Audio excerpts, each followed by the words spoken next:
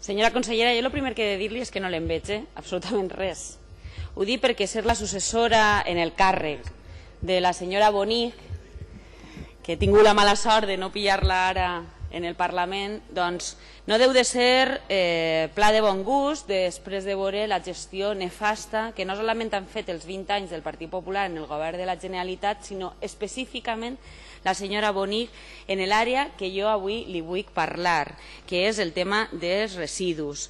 Vostè, com sabrà, la situació de la gestió dels residus en la zona de la Vega Baixa ha sigut comparada també pels experts i, i en moltíssims reportatges amb el que s'ha viscut a Nàpols, on la màfia tenia una connivència poderosa amb el poder polític, valga la redundància, i ha portat a una situació, la dels evocadors, a una situació insostenible des d'un punt de vista social, mediambiental i fins i tot de salut pública.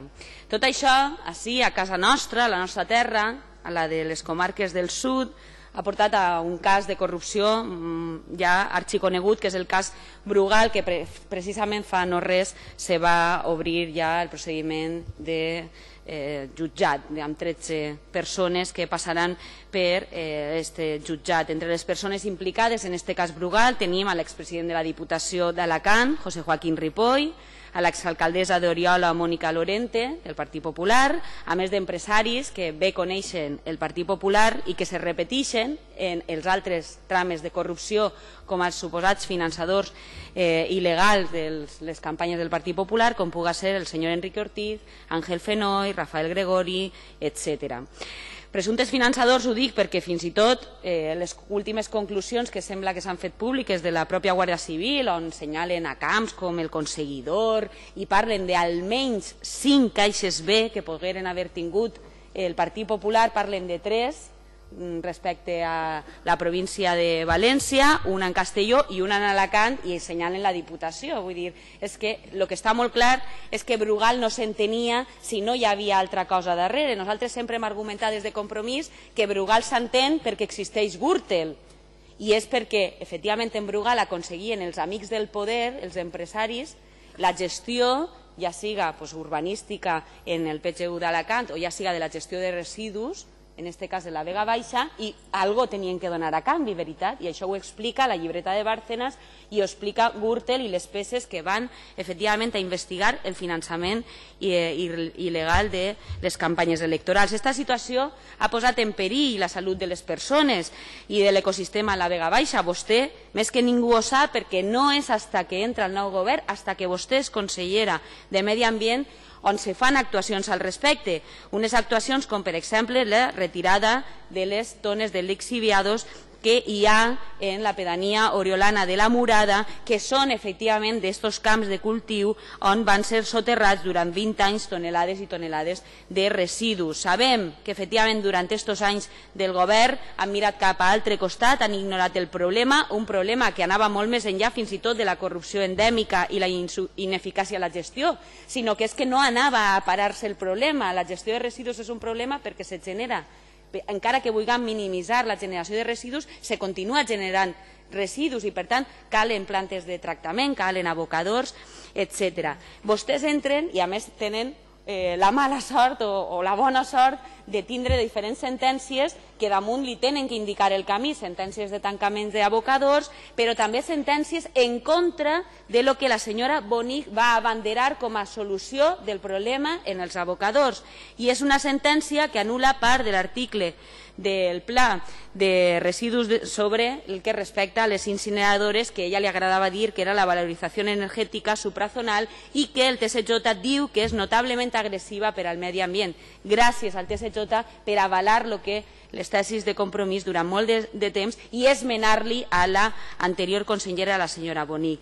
Davant de dues èpoques clares del Partit Popular, una que era cas Brugal, corrupció en gestió de residus, i una altra, com que han, ens han pillat en el cas Brugal, apostem per les incineradores, quin és eh, la política que vostès van a dur a terme per a solucionar la problemàtica de la gestió de residus de les comarques del sud de l'Acran. Gràcies.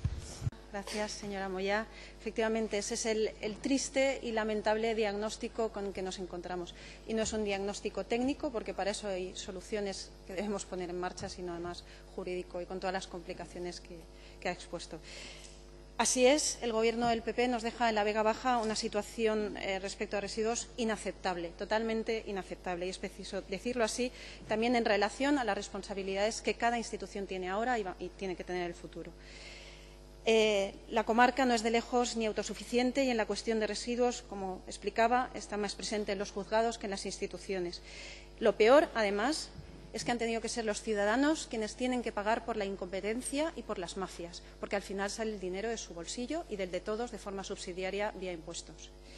Así, nuestra responsabilidad es conseguir que la Vega Baja sea autosuficiente en la gestión de residuos y conforme a la ley. Suena muy obvio, parece muy evidente, pero es que ahora no es así. No ha sido así. Ahora empieza a serlo. De hecho, es una de las materias que más horas de trabajo nos absorbe a la Consellería, porque no hay una instalación ligada a la gestión de residuos. No la hay. Parece mentira, pero no hay en una comarca como esta tan poblada. No puede ser que un plan zonal haya estado sin instalaciones ligadas a la gestión de residuos. También cabe recordar en este aspecto que la gestión de residuos es responsabilidad de los ayuntamientos, que para eso se unen en consorcios. Esta consellería, después, nada más unas horas después de que se cerrara, tuviera que cerrar la planta de Abornasa en Crevillente, tuvo que convocar alcaldes y representantes de la Diputación para promover la constitución del consorcio de la Vega Baja. Así se hizo el 13 de octubre y estamos razonablemente satisfechos, comparando de dónde veníamos, por el nivel de coordinación que se está manteniendo desde entonces. Con el cierre de Abormasa lo que pasaba es que el Baisegura, Baja, se quedaba sin lugar al que llevar la basura, así de claro. Las plantas de Gijona y de Villena han ofrecido la solución, pero sabemos que es una solución transitoria, con fecha de caducidad, y sabemos que estos municipios, ambos municipios, están haciendo un esfuerzo extraordinario por contribuir a una solución cuyo origen del problema no era ellos, pero sin embargo han contribuido con gran sentido de la responsabilidad.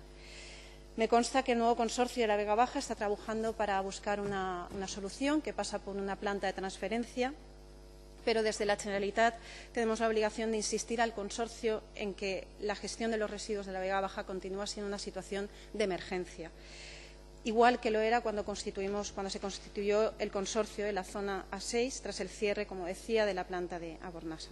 El problema es que el tiempo se agota, que inquieta que pasen las semanas sin novedades y la estación de transferencia es ya más que una necesidad urgente, es inmediato la necesidad.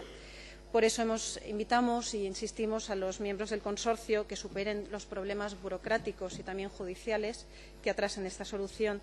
También porque ya se están generando, lógicamente, situaciones de, malestar y quejas en esos municipios que están recibiendo de manera extraordinaria los residuos más al sur de Alicante.